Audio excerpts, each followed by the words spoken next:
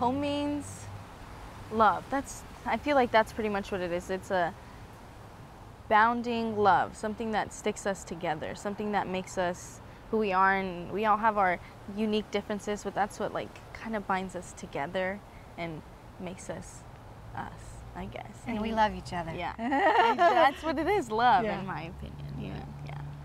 Love. Having your family means having more of who I am, a part of who I am. Like you made me have a step into putting me back together for sure. You were like the first step to put me back together again. I thought I would never, I didn't want a future. I didn't want to live anymore. I didn't want to do anything, but you just, you made me realize that I was, that there was something to live for and there was some there was so much more than what I was going through and so much more and you made me realize that love wasn't bad. Like there was a lot of people that that told me they loved me and did bad things, horrible things, but you were first person to show me that love could be good. That love was something true and raw and pure and beautiful. And I, you know, it was it was good. Thank you for that.